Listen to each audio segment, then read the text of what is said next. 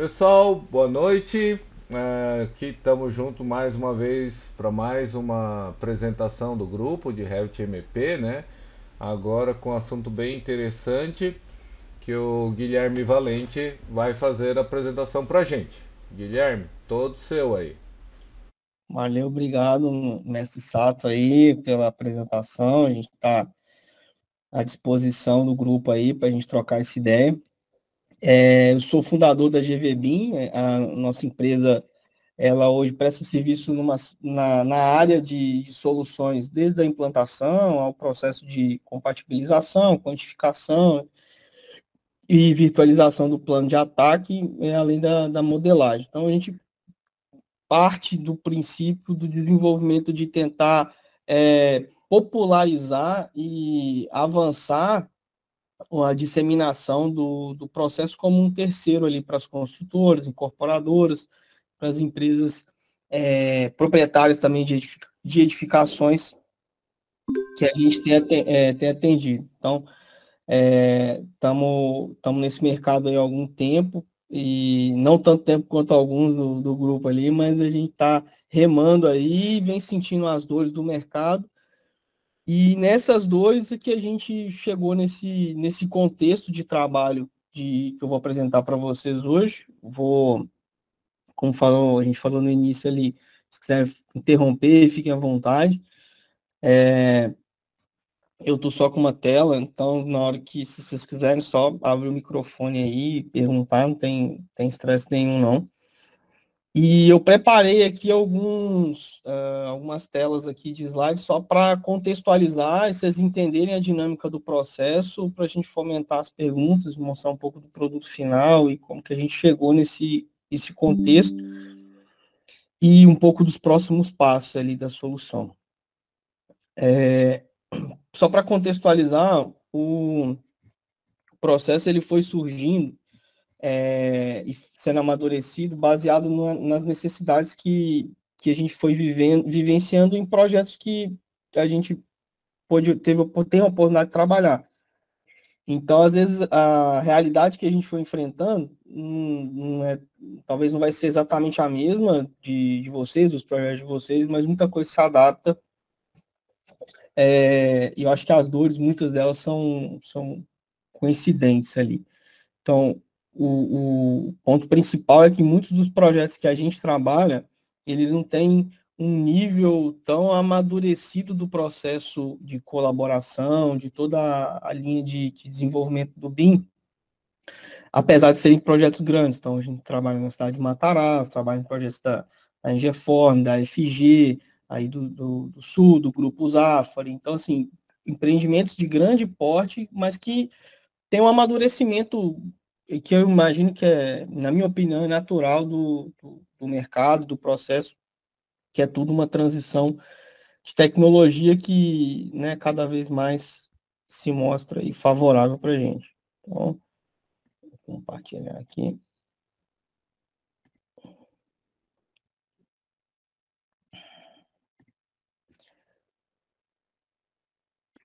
Bom, é, o que, que a gente quer primeiro desmistificar, né? A primeira coisa é relacionada à, à inteligência artificial e deixar claro que a minha visão e, e na visão de, de algumas, né, do ponto de vista prático, ela não é nem artificial, nem tão inteligente assim quanto a gente imagina. Então, é para a gente balizar a conversa de que não tem nenhuma bruxaria no que a gente faz aqui, nada que a gente tira da cartola, nada super é, é, fora do, do, racional humano, tem nada disso, né? É, estatística, é, cálculos matemáticos, é, análise de dados, e, e, tudo isso vai permitindo a gente chegar onde a gente precisa. É, basicamente, a solução, elas se comporta numa, num mapeamento de risco, que é o final, né? É, é, o produto final, é utilizar a compatibilização, utilizar o processo de Clash Detect para eu conseguir mapear o risco, classificar, mensurar o risco de retrabalho daquele empreendimento, que pode estar em fase de projeto ou em fase de obra. É, a aplicação desse processo é, ele vai partir dessas premissas, né, do da análise de compatibilização e depois vai para classificação, mapeamento, gera os nossos insights para a gente tomar a decisão e apoia e constitui um processo de, de predição que é onde a gente está é, almejando alcançar nos próximos passos. Tá? Então, é um fluxo bem simples e parte desses princípios e dessas etapas, dessas macroetapas. E por que, que surgiu essa necessidade? Né? Ela surgiu porque, é, como eu falei um, um, aqui um pouquinho antes, os empreendimentos que a gente trabalha são empreendimentos de grande porte um, e, e com um, o processo muito, muito vivo. Né? Então, em algumas fases, a, o projeto se, se intercala ali com a obra, é, mudanças de projeto, validações ali junto com, com execução. Então, o cliente sempre está é, tá na necessidade de que a compatibilização ou processo qualquer que seja, ele seja muito rápido e muito é, assim assertivo, mas no, do ponto de vista de que ele seja é, o mais uh, as, uh, assertivo do ponto de vista de do que será realmente resolvido em cada fase. Essa foi uma dor muito grande para a gente, porque é, como processo de compatibilização, o software ele é binário, de 0 ou 1, um, ele vai compatibilizar, vai te gerar um relatório, você vai pegar aquele relatório e passar para frente, ele vai ser, vai ser rápido, porque você vai simplesmente cuspir o que está no software, ou ele vai ser muito demorado, porque você vai ter que fazer uma análise refinada de, de das, dos problemas que ele for apontando. Em empreendimento de grande porte e, e mesmo empreendimentos pequenos, isso é cansativo, o, o compatibilizador é, ele precisa ter um nível de expertise cada vez maior para conseguir enxergar que aquilo é, é algo digamos assim, é, é, merecedor de você levar para uma reunião aonde vai estar tá 20 stakeholders é, de altíssimo, de hora cara, e num processo que às vezes o projeto já está estressado. Então, assim, quanto mais resumido for né, os relatórios, as informações, se ela for mais assertiva, a gente foi identificando que era melhor. Só que a gente não tinha como fazer isso de forma fácil ou rápida. Né?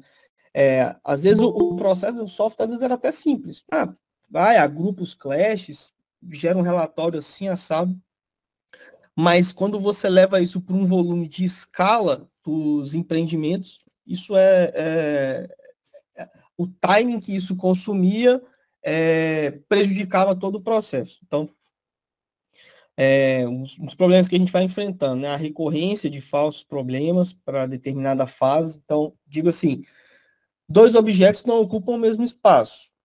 Se o software apontou aquilo como um clash, é, que em algum momento da vida daquele projeto ou obra vai ser um problema que alguém vai ter que resolver. Mesmo ele sendo uma coisa muito, muito simplificada, ah, uma tubulação muito pequenininha que está passando dentro da laje. Se não tiver o furo, alguém vai ter que quebrar para aquele tubo passar. A questão é que para cada fase do projeto, ou às vezes até para a fase de obra, você tem uma, um situacional de problemas que aquelas pessoas ali elas precisam estar mais empenhadas para resolver. E aí a gente foi refletindo sobre isso, discutindo tomando muita porrada também, porque a gente não é, não é nenhum ser de outro planeta, a gente enfrenta os problemas é, do dia a dia e vai tentando se virar com tudo que acontece. Então, é, a gente começou a buscar solução interna para como melhorar essa parte de é, falsos problemas.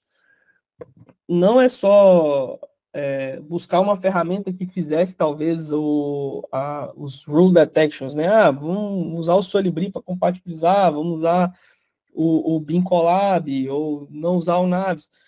É, a gente amadureceu e trabalhou em diversas, várias dessas ferramentas.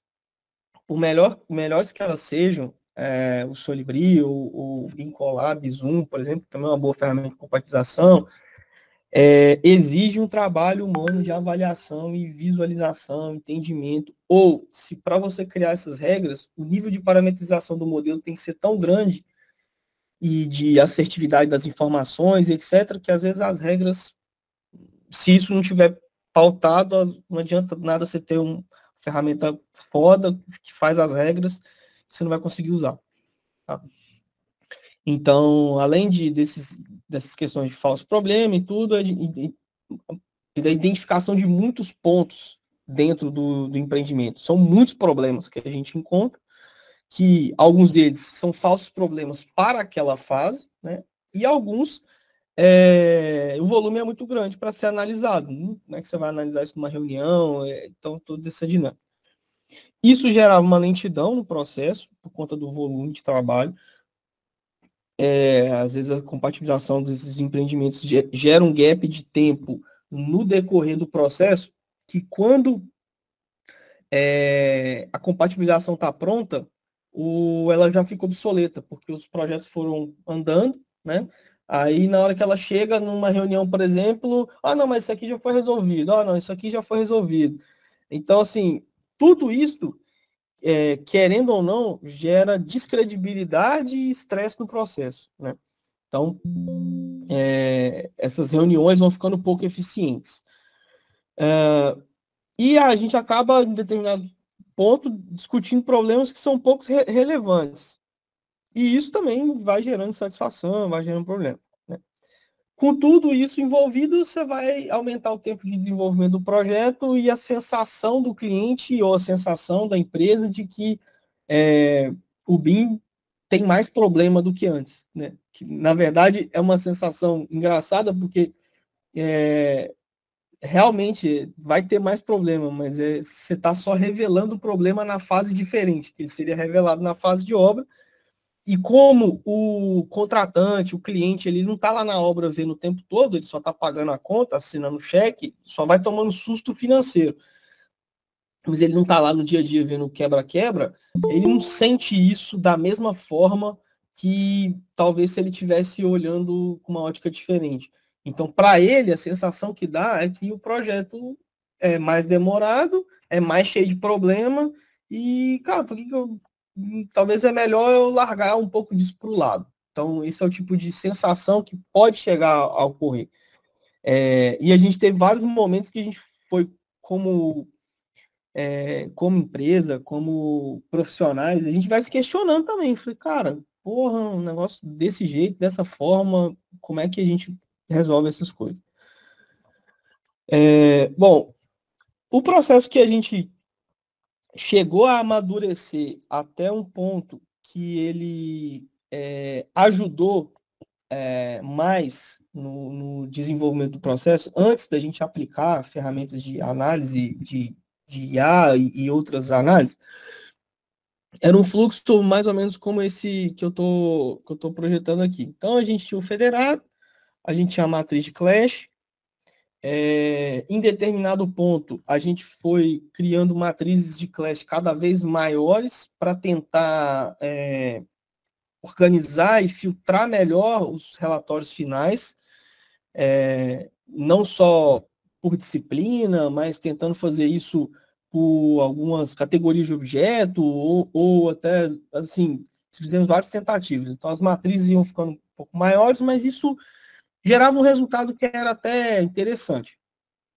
Depois a gente fazia essa análise visual ali, vai agrupando é, os classes por categoria, por nível, etc. E a gente conseguiu, em determinado ponto, ter relatórios é, mais, digamos assim, mais resumidos e mais práticos de serem analisados pelo, pela, pelos stakeholders ali envolvidos. Tá? Mas aí, é, em determinado ponto, isso já também foi ficando insuficiente no sentido de que, cara, a gente até tem um processo que gera um relatório mais coeso, a gente consegue ter uma informação mais interessante e tal. Só que, pro nosso lado, era horrível, porque isso demandava muito tempo.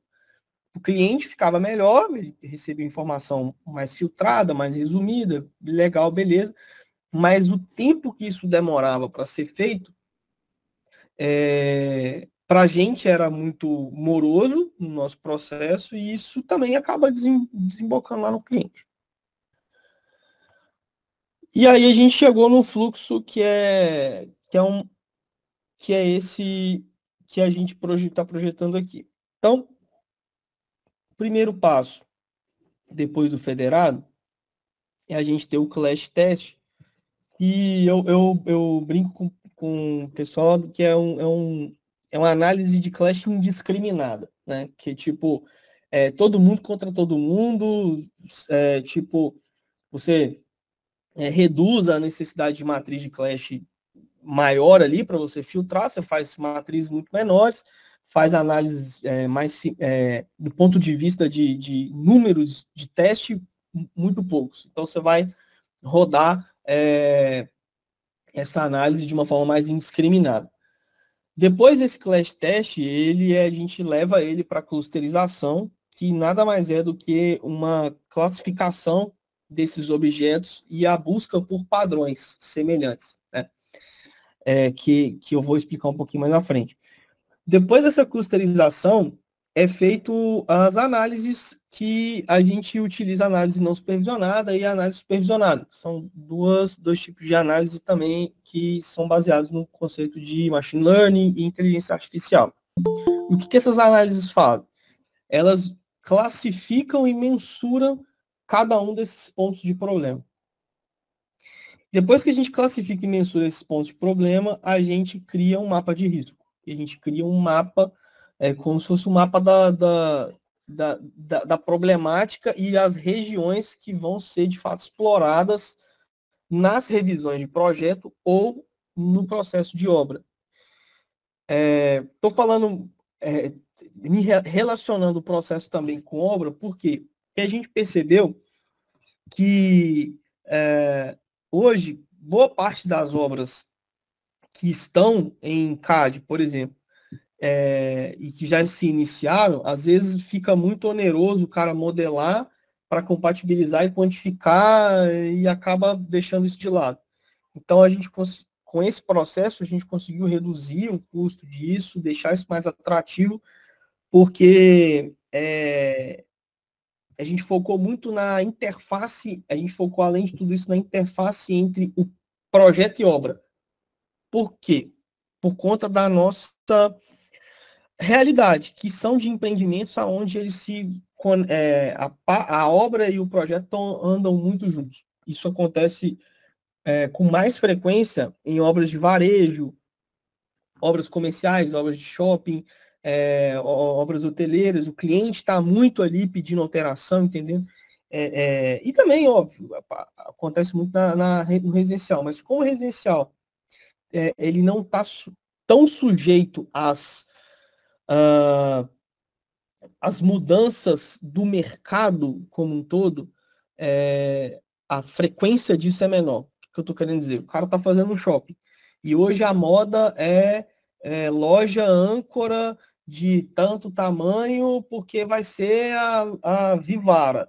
Mas o, o projeto está andando, o funding precisa atuar, então a Vivara desiste porque a crise pegou, pegou um negócio, ela desiste daquilo, entra a CIA. Não, a CIA que é do. Então, as quantidades de mudanças, além da, da vontade do cliente, tem o fator mercado, né, que atua nesses projetos de varejo. E isso também é um fator que adiciona cada vez mais uma camada de complexidade no processo, porque você tem que compatibilizar muito rápido para a sua compatibilização não ficar obsoleta. Até aí, é, tranquilo? Tá sim, tá ótimo. Tá, beleza. Qualquer dúvida aí vocês podem falar. Então tá. É, deixando um pouquinho mais claro né, o processo. Então, o primeiro passo é, é a gente utilizar, eu, fazer o uso do Clash Test. A gente faz isso no NADS. A gente decidiu, é, não, não, não tem impeditivo de usar outras ferramentas de compatibilização, porque o, o recurso que a gente precisa é hoje o relatório de compatibilização. É por ele que a gente desenvolve todo o material.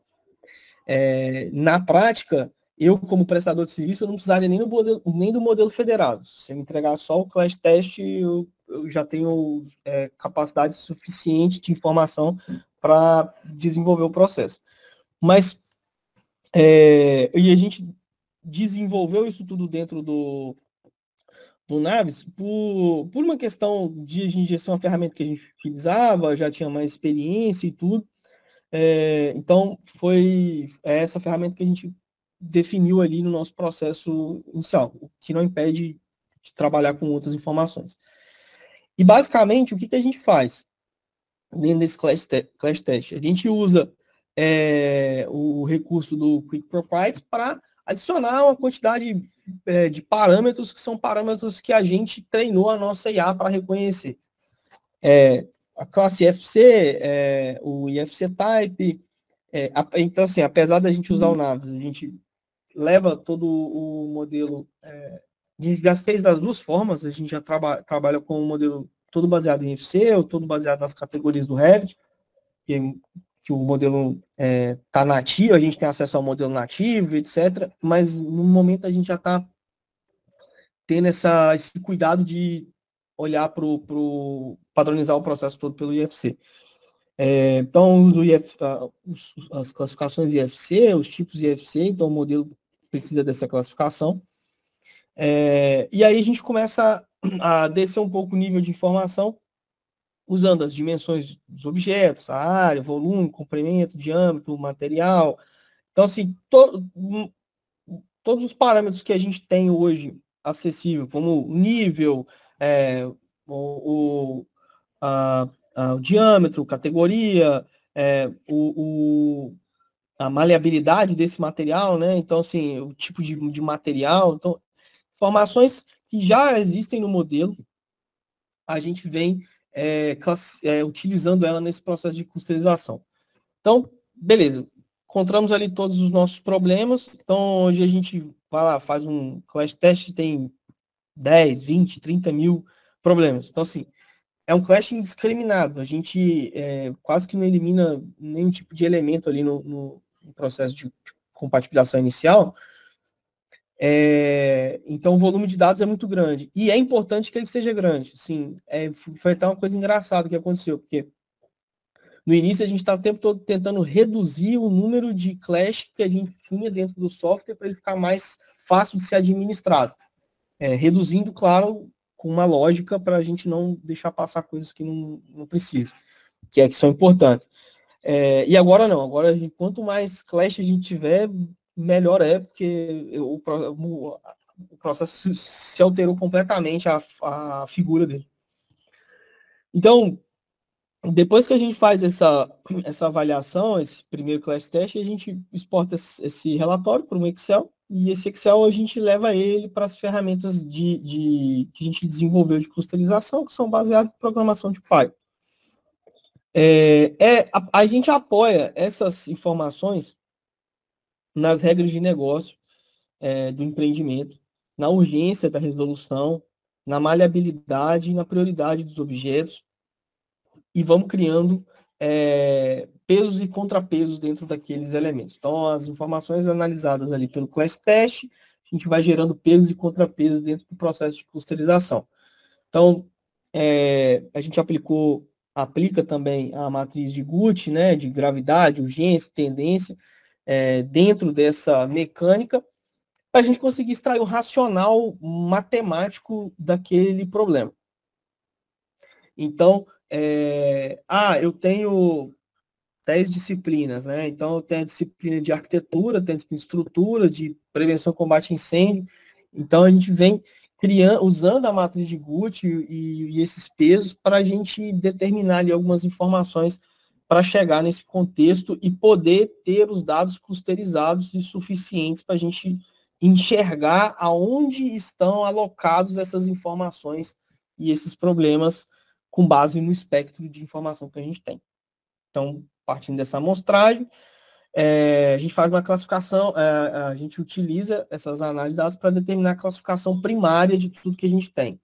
Essa classificação primária é basicamente entender é, aonde a gente está aonde os problemas estão no sentido de gravidade, não no sentido de localização especificamente, apesar de que a localização faz parte da análise.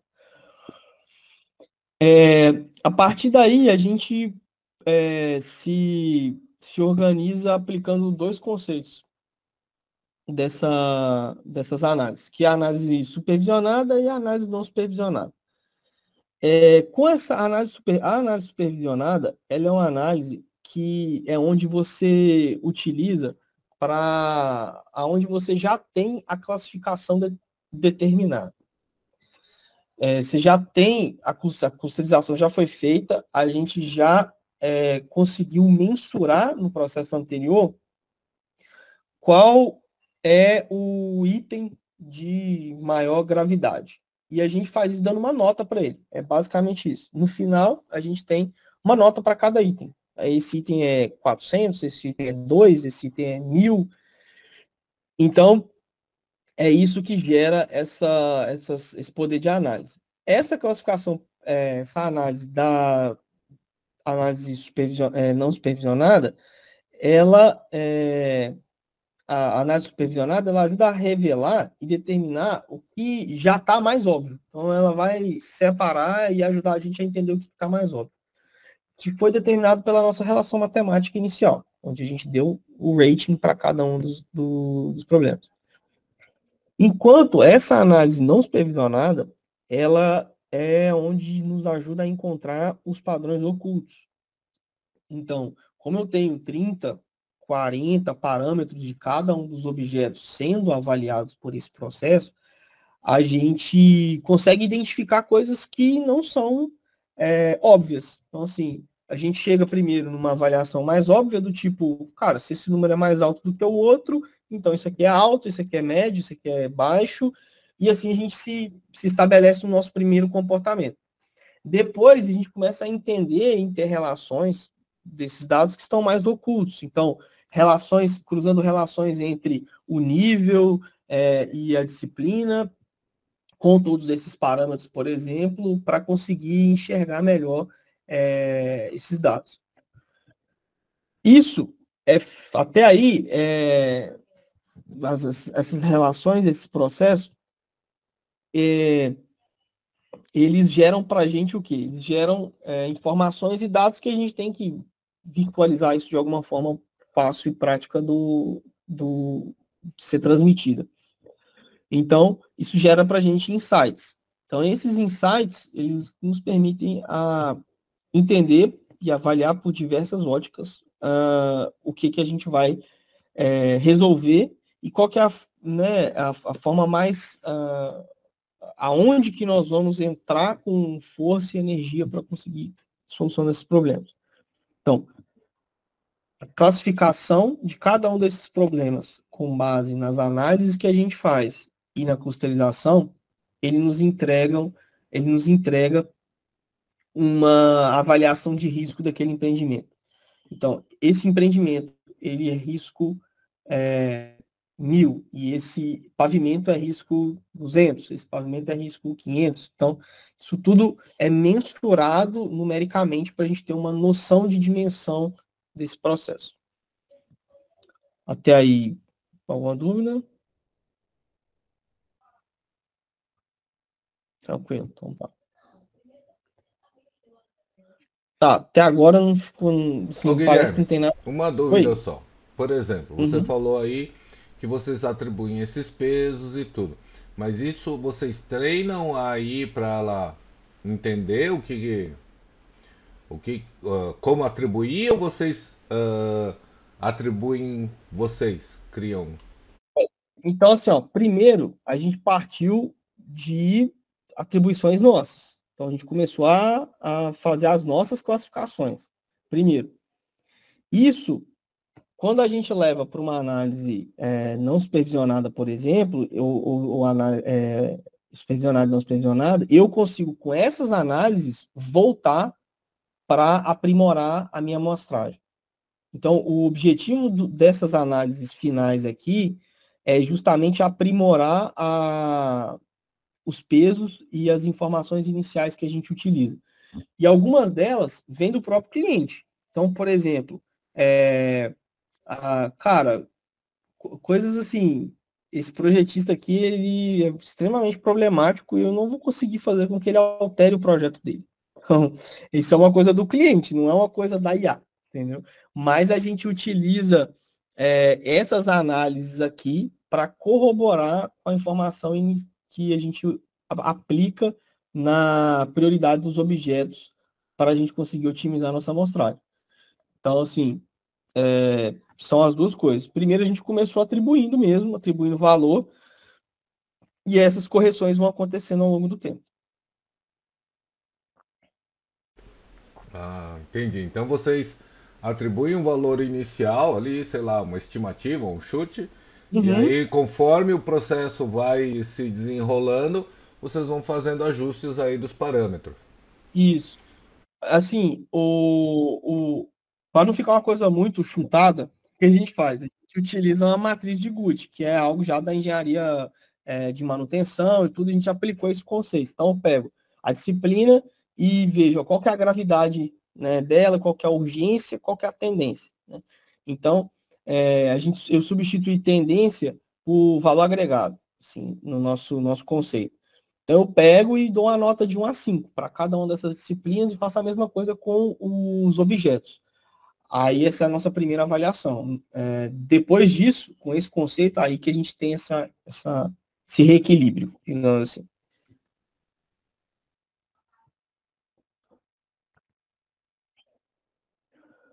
E Beleza. E aí, o que que, no final das contas, né, qual que é o resultado disso? Porque até agora a gente fez tudo isso para ficar mais fácil, mas o negócio só complicou mais ainda.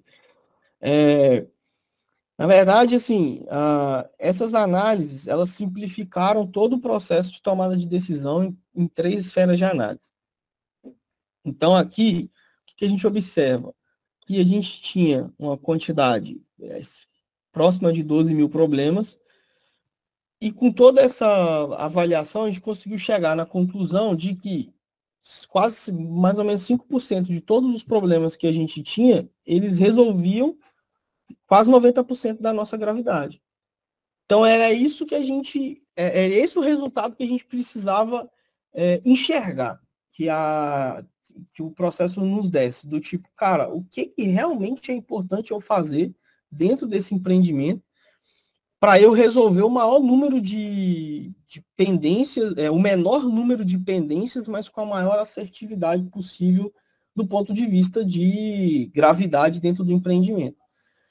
Então, essa é, validação e verificação final, esse resultado final, foi o que nos acendeu lá atrás do, do tipo, cara, a gente chegou no modelo matemático que funciona. Porque se eu tenho é, um número X de problemas ali, que eu tenho é, essa relação do Pareto ali, ela, ela, se, ela se mostra é, é presente dentro daquela, da, daquele processo, pô, a gente está chegando em algum lugar com isso. Então, foi essa avaliação. Então, quando a gente pega essas, essas informações, a gente vai percebendo esses problemas, né?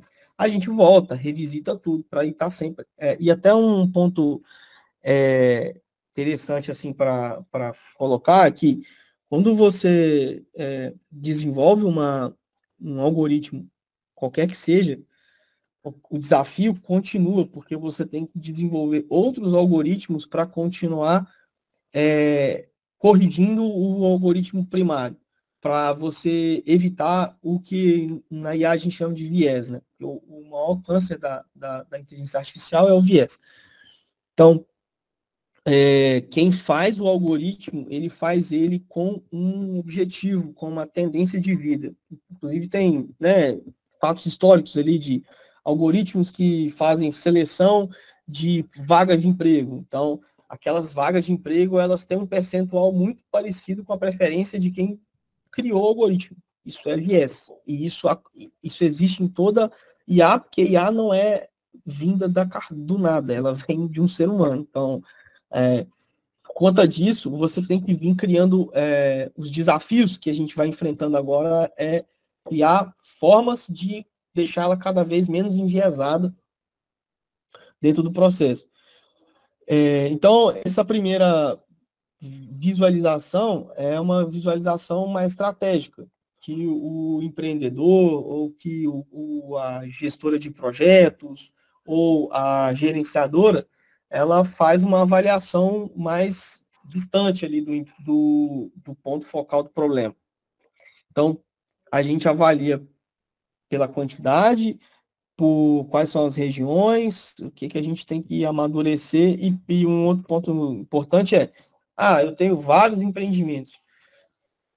Se aplicando essa metodologia, eu vou conseguir identificar qual que é o empreendimento que eu tenho que desprender mais esforço. Então, a, a mensuração numérica do risco, ela está muito atrelada do ponto de vista estratégico para o empreendedor, para o investidor, para o fundo, para quem quer que seja que está é, aportando ali naquele empreendimento, possa ter um entendimento claro é, do ponto de vista de talvez quais empreendimentos ele vai de fato nichar sua, sua seu esforço ou dentro daquele empreendimento qual seria o local, né? Ou que aí é, parte por um, uma tomada de decisão mais tática, né?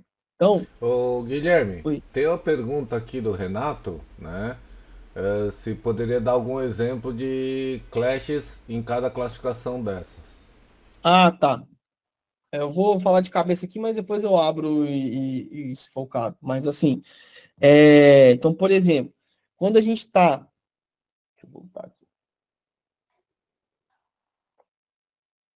Quando a gente está falando do, do da, das classificações, que a gente foi percebendo? É, o, o, o, tudo que vai se encaixar dentro dessa do que é menos prioritário, foi percebendo que ou é erro de modelagem que a gente vai encontrando, e quando eu falo erro de modelagem, é falha é, de compatibilização entre as disciplinas que poderiam, que são resolvidas com um aumento do nível de detalhamento da modelagem. Então, furação de um piso, mas uma furação pequena, é, ou uma, uma tubulação de pequeno diâmetro ali, que está fazendo uma interferência é, com a viga, mas aquela tubulação é uma tubulação flexível. Então, isso tudo vai sendo categorizado de uma forma diferente. Quando, a, quanto maior é, por exemplo, o diâmetro da tubulação, quanto menos maleável é a tubulação, ou é, às vezes que a, a, ou o projeto é menos maleável. Então, por exemplo, projeto de prevenção e combate a incêndio, ele naturalmente ele é um projeto menos maleável, das, mesmo que a sua tubulação seja mais maleável do que as outras.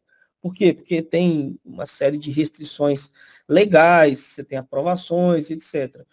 Então, às vezes, você vai ter um apontamento de alta gravidade de uma tubulação de incêndio de menor diâmetro com uma viga é, e um apontamento de uma gravidade é, menor do que isso e a tubulação é maior, mas ela é de PVC, ela é de um projeto que ele tem mais maleabilidade do ponto de vista geométrico. Tá? A gente não olha o conceito de cada uma das, das, das soluções técnicas do projetista, esperamos poder chegar lá algum dia, né? Mas é, não é, a análise está mais ou menos por essa avaliação.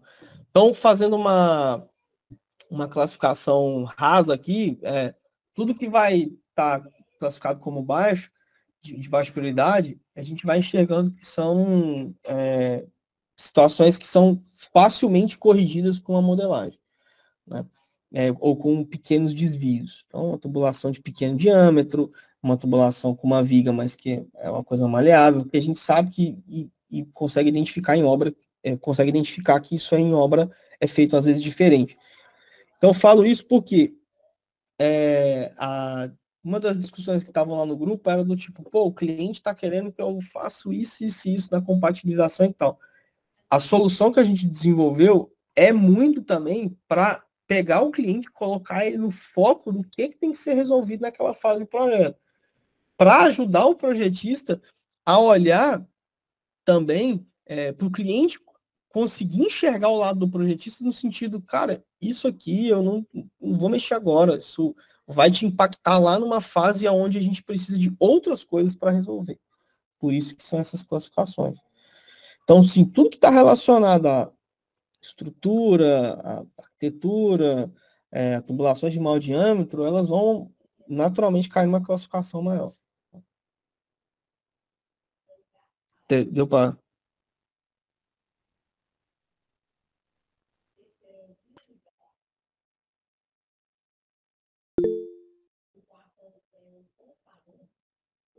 Deu para esclarecer que eu tô sem, o, sem a outra tela, só para só dar uma. E essa classificação você faz depois do Naves, é nessa outra ferramenta que você entra. Dentro do Naves ainda não é feito nenhum tipo de classificação isso. aí. É, perfeito. Por isso que eu te falo assim, a gente pode utilizar outras fontes de, de dados, porque a gente fez ela independente do, do, do Naves justamente para ter mais liberdade. Então, a análise toda é feita fora do Naves. É feita com é, programação em Python, com análise, a gente utiliza o BI também para fazer essa programação e para ter os insights. Então, todo o processo ele é feito fora do Naves, a análise de dados. O Naves ele não, vai, ele não suporta essa classificação, essa robustez de necessidade de processamento, que é para outra coisa, né, de outra ferramenta. Mas é isso mesmo. Depois que a gente, a gente roda no Naves um Clash e do, do resultado do Naves a gente utiliza a base de dados.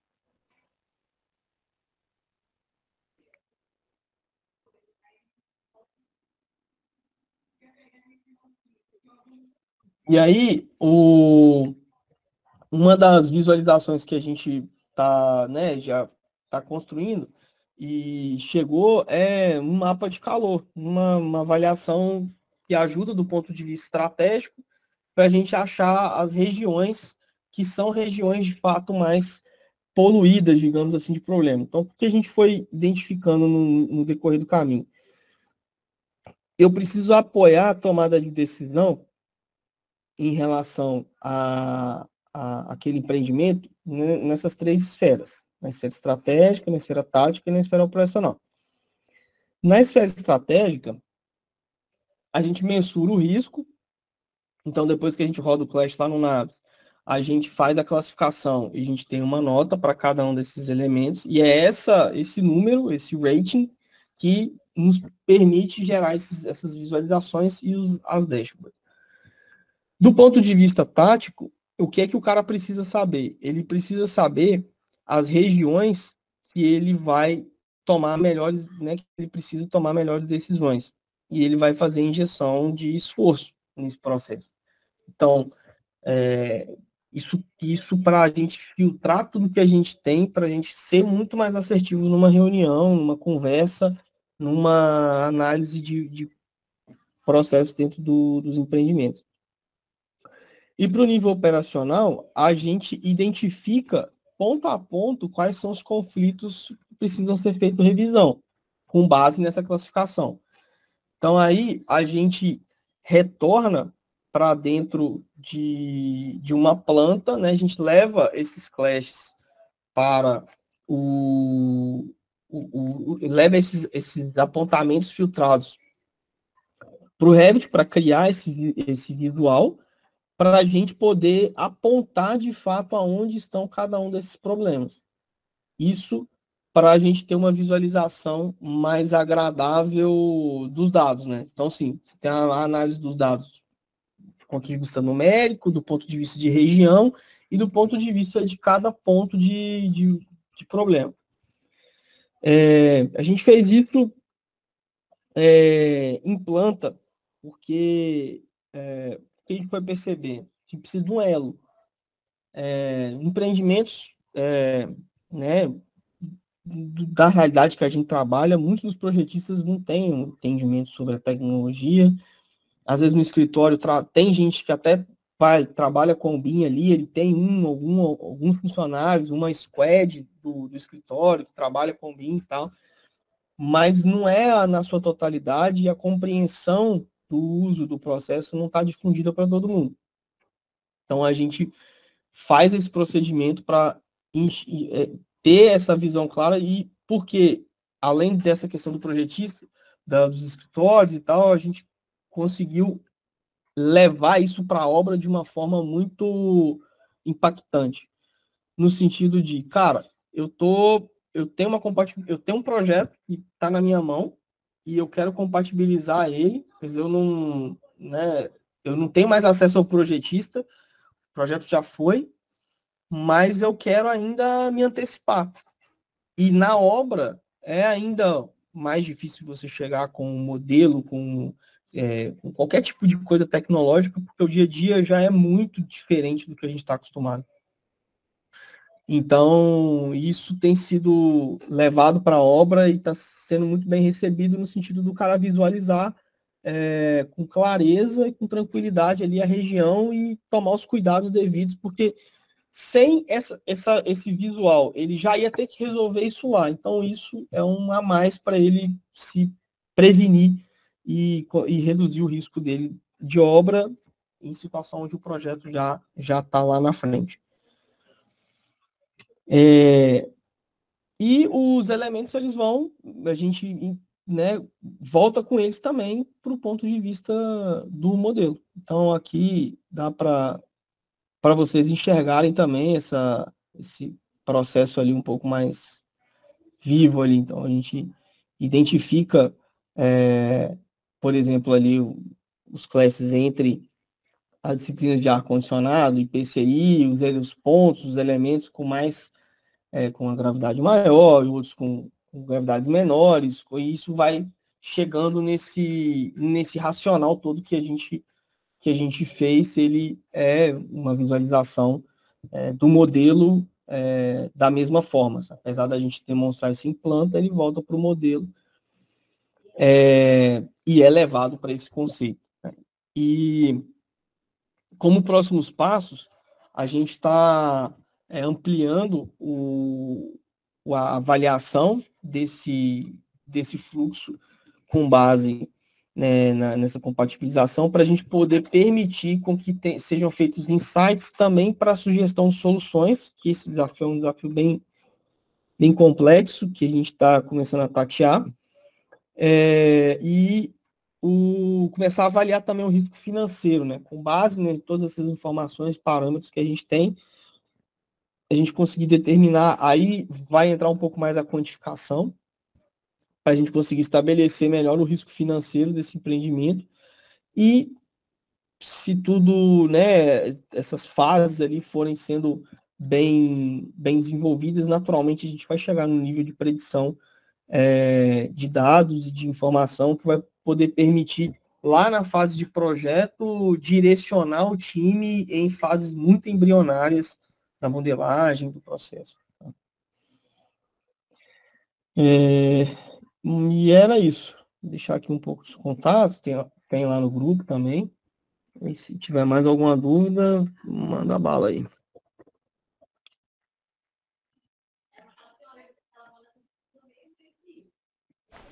Ô Guilherme, bem legal aí. Eu achei bem interessante, né?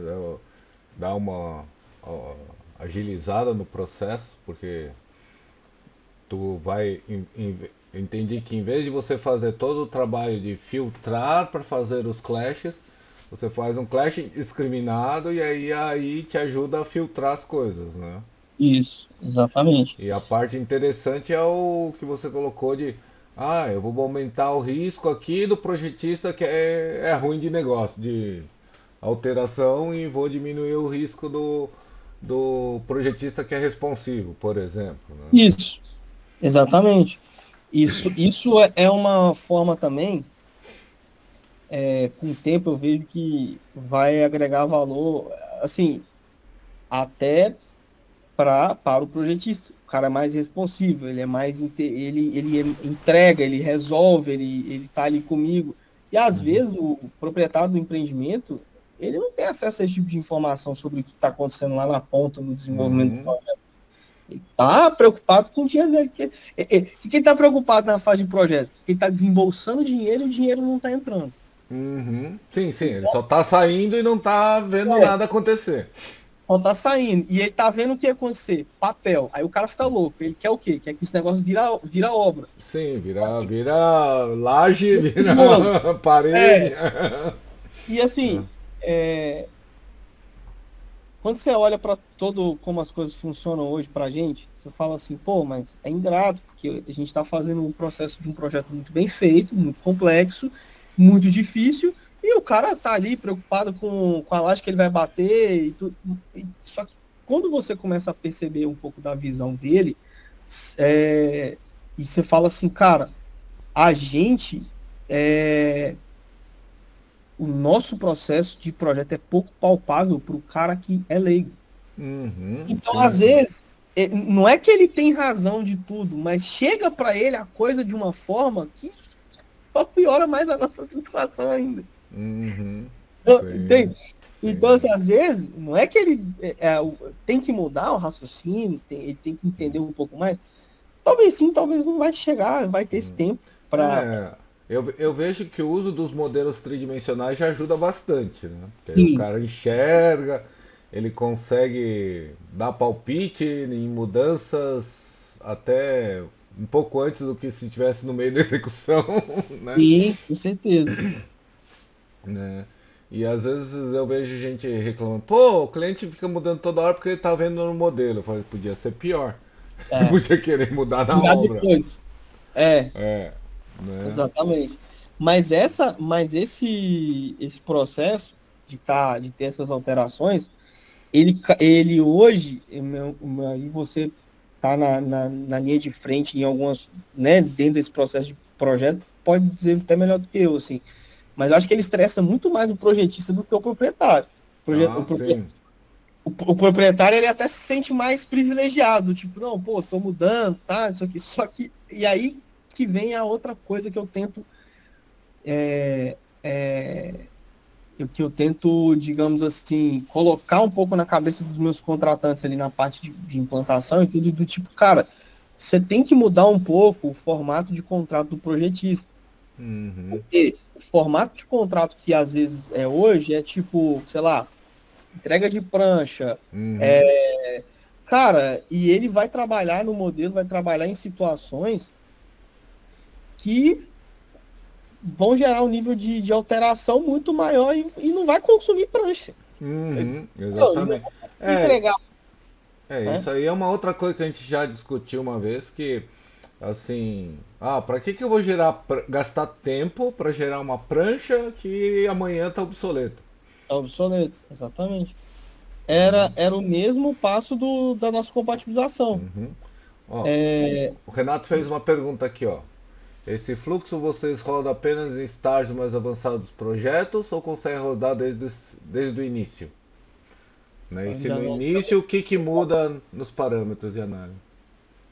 É, o Renato, eu consigo gerar, é, rodar esse, essa análise em, em estágios bem menores. O que, que vai acontecer? Vai acontecer que informações de, de de, parâmetros de informação mais densos ali do, do, do, objeto, a gente acaba, acaba não tendo naquela, naquela fase. A gente contorna isso simplificando um pouco os parâmetros que a gente usa, a gente vai usar tipo, a classificação IFC, vai usar é, algumas informações de quantidade ali para entender a dimensão do empreendimento, a disciplina e a categoria do objeto. Então, com essas informações eu consigo fazer uma avaliação. Qual que é o gargalo, na minha opinião, disso?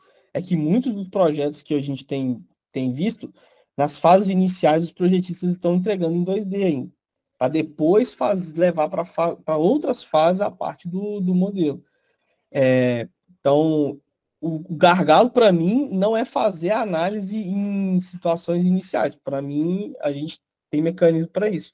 O que tem acontecido é que nas fases iniciais, alguns contratos que a gente tem visto são firmados assim, a projetista vai em CAD até, sei lá, projeto básico. Depois ele vira para para BIM. Aí, para contornar isso, a gente ainda desenvolveu uma metodologia de modelagem de objetos nível de detalhe baixo para conseguir fazer essa compatibilização. Então, a gente modela só os espaços ali para conseguir contornar e ter a nossa análise em estágios mais iniciais. Ah, legal. Então, na verdade, vocês dão uma, uma otimizada no processo. É, isso aí é uma coisa que eu vejo que muitos escritórios não têm essa cultura aí de modelar desde o início. Michel? É. Quer falar? É, eu, da, da modelagem. É, contratantes é, tem cliente grande, tá?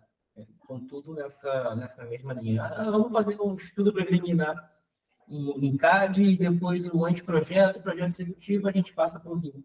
Assim, é horrível. Eu praticamente não gosto. Eu gosto de começar sempre do, do início com o né? Mas eles estão com essa linha hoje em dia, em contratante tá. grande. Uhum. Tá.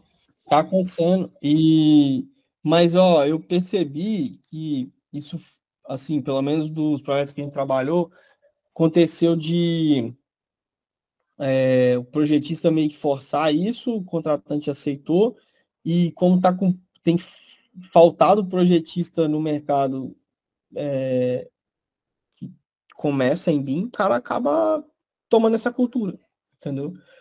É, pelo menos assim, como eu falei no início, assim, as realidades que eu enfrento, né? Então, às vezes vocês vão estar em, em realidades totalmente diferentes em relação a cliente, mercado, etc. Apesar da gente ser um país só, parece que são 27 países né, em, um só.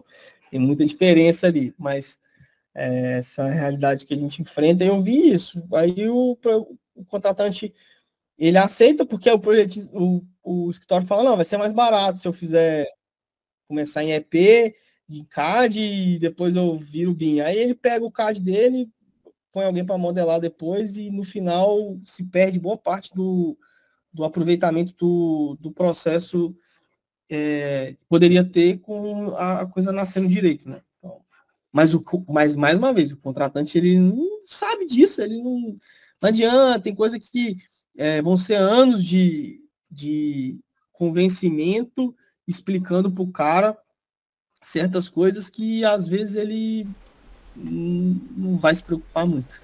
É, na verdade, o, o, o cliente final também tem que ganhar maturidade para saber pedir as coisas, né? E, e valorizar as coisas também.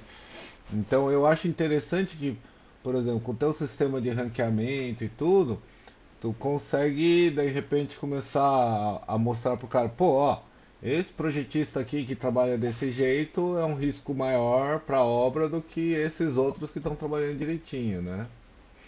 Com certeza, com certeza.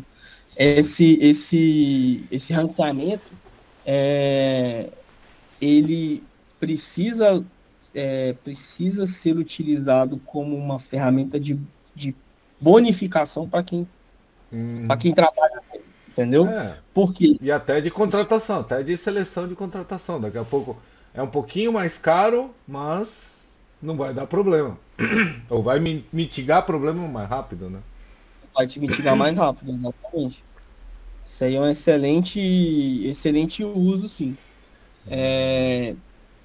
Porque boa parte, pelo menos para mim, parte da dificuldade que a gente tem para até vender o nosso serviço para quem quer que seja, tá relacionado a tipo assim, tá, mas e aí, quanto que economia?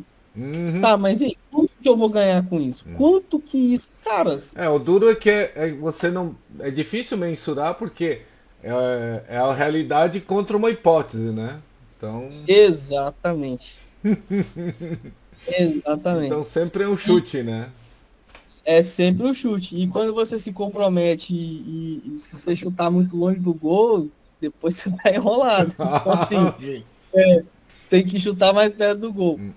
Por isso que o, o, no último, últimos slides eu falei um pouco, eu falei rapidamente ali da predição. Por quê? Porque com a predição mais amadurecida, eu vou conseguir chegar para esse cliente e falar, ó, baseado no histórico que a gente tem, a probabilidade de você economizar com esse projetista, esse, esse com base no ranqueamento que você comentou, hum. e com base no processo, vai ser próximo de tanto. Porque eu vou ter base histórica para chegar sim, sim. Precisa ter um. Na verdade, você vai ter que ter um banco de dados para poder comprovar ou gerar uma, uma evidência que aquilo está funcionando, né? Exato. Ah, é isso aí. Mas legal, Guilherme. Alguém tem mais alguma pergunta? Foi uma apresentação muito bacana, um assunto bem interessante. Apesar de não ser o, o foco do, do grupo aí, é uma coisa que sempre faz parte da vida da gente, né? Mesmo que a gente seja só o projetista, essa parte aí é bem interessante e algumas coisas que você levantou aí que dá para fazer, principalmente dessa parte de análise de risco, eu achei bem interessante. Porque isso tem como reverter como de forma favorável um projetista que trabalha direito, né? Isso aí. Então tá. É, valeu, Renato. Não, pessoal Qualquer tá... coisa aí. Minha área aí. É, beleza, então. A gente pode trocar mais ideia, eu estou sempre à disposição. Eu, eu vou até comentando um pouquinho com, com, com, o mestre ali no início, não é, não é da minha área de, de, de atuação ali o projeto, mas eu tô no, fico ali sapeando no grupo ali, tentando, tentando aprender alguma coisa com vocês. Ah, foi hoje uma oportunidade. Não, mas é legal, é legal, é legal. Bom, deixa eu fazer o encerramento então. Bom, pessoal, muito obrigado pela participação de vocês. A apresentação do Guilherme foi, eu achei muito legal, bem boa, muita coisa interessante. Eu acho que muita gente antenada vai olhar e vai te procurar para perguntar ou, né? Uh, vamos ver como que segue aí, mas eu achei essa solução, esse caminho que você está trilhando aí bem interessante, porque eu acho que é um, um caminho importante, tá? De métricas e tudo mais. Bom, agradeço a todos mais uma vez, conseguimos fazer mais uma uh, apresentação aí que eu acho que agregou valor, né, para todo mundo. Mais uma vez, obrigado pelo Guilherme. Quem precisar falar com o Guilherme, o Guilherme está lá no grupo, é só dar um oi para ele e trocar ideia. Agradeço a todos vocês.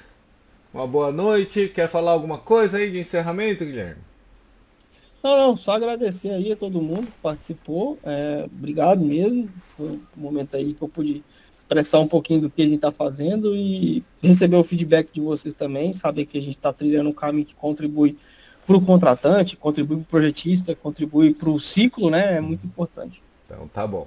Então tá, pessoal. Uma boa noite e até uma próxima vez. Tchau, tchau, pessoal.